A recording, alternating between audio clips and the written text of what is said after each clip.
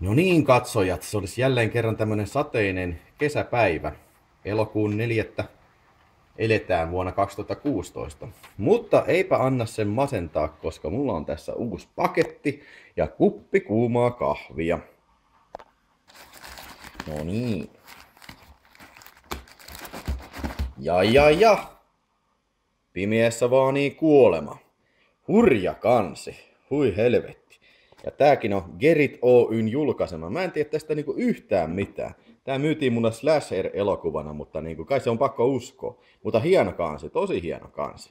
Ui, ui, ui. Kuka on C. Castravelli? Sanokaa mulle tuossa kommenteissa. Mm-hmm. Mielenkiintoinen juoni. Pimeässä maanii kuolema. HVC-video, joo. Okei. Ja no ei ole ilmeisesti viittinyt mitään niin stillejä pistää siihen, koska ei ole varmaan ollut. Oi, Samperi, jännä.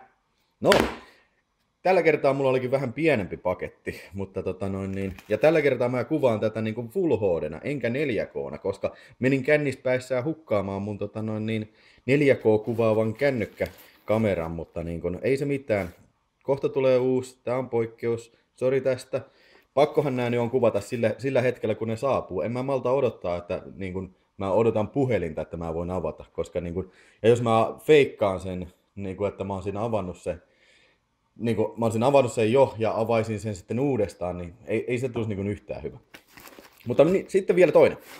Koffy, armoton kosta ja perkele vieköön Pamela Grier, ai saakeli, the baddest one chick, hit squad ever hit town, niin.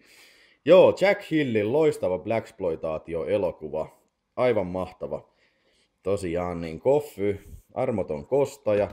Kyllähän se tuolta, tuolta löytyy hyllystä sillä niin kuin valkokantisena VTC-versionakin, mutta niin kuin hei, OVC Videovisionia ne pitää saada. Tämä on tosiaan julkaistu, niin kuin sanottu, valkokantisena vtc ja tämä ei ole läheskään niin arvokas tai harvinainen kuin sitten tämä jatko-osa, eli Foxy Brown.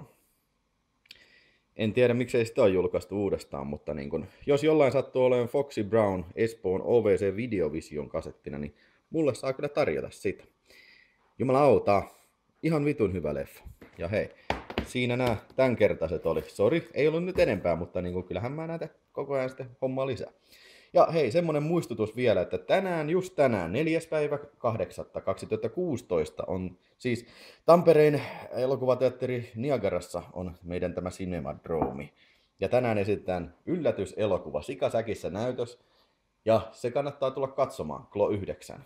Mahtavaa settiä, liputkin vaan kolme euroa. Ja huomenna meillä on Blaxploitaatio jälleen. Ei toki Pamela Grierio, vaan Rudy Ray Moore Dolemiteina ja se alkaa kello 22 alkaen ja sitä ennen näytetään videollakin tuttu ollut raakaa voimaa, Rav Force.